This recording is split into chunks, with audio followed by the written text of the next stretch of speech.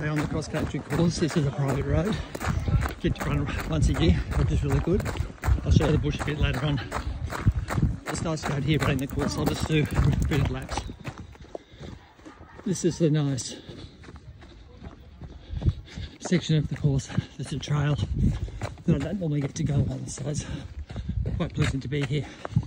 On my third lap of the cross country course, I finished the first race and kept running. So I just keep running and students come by me at different stages and, and I get a bit of a workout. If I get no students, I'll show you the hill we have to climb.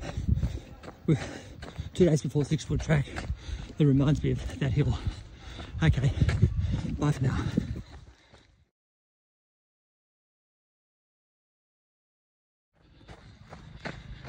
Now this is the section of the course along Cobah Road. I still haven't been able to get a shot of the hill because everyone's walking it. This time I was running it and the students were walking past me. And so still running it at the moment. I've got to try and get another shot later. This is uh, another section of the course down the bottom of the tennis court.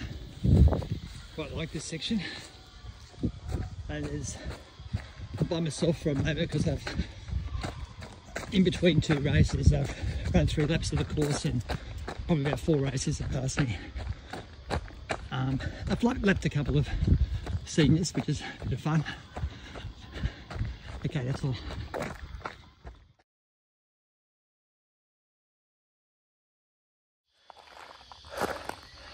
This is the hill on the cross country courses.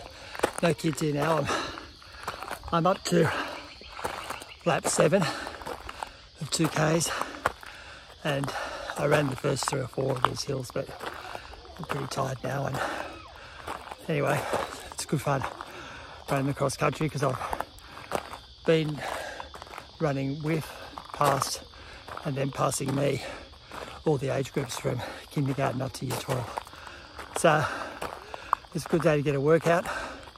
I'll probably get to probably up to 7.14 plus the walking lap, maybe 15, 16 Ks today. Okay, that's all from me. Enjoy your day. Bye for now.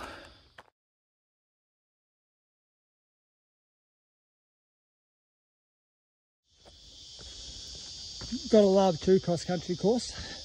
This is what this is. Quite rocky.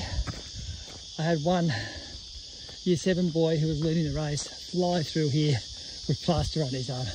Broken his arm, I don't know when, but amazing how fast. You really get a sense of the speed of the different age groups when they pass through at different stages and and how they improve over the years watching them grow in terms of um, athletic ability. So there you go, that's another section of the course.